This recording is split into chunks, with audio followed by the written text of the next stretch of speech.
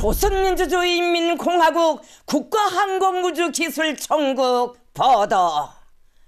정찰위성 성공적으로 발사. 조선민주주의인민공화국 국가항공우주기술총국은 주최 112 2023년 11월 21일 22시 42분 28초에 평안북도 철산군 서해 위성 발사장에서 정찰 위성 만리경 1호를 신형 위성 운반 로켓 천리마 1형에 탑재하여 성공적으로 발사했습니다.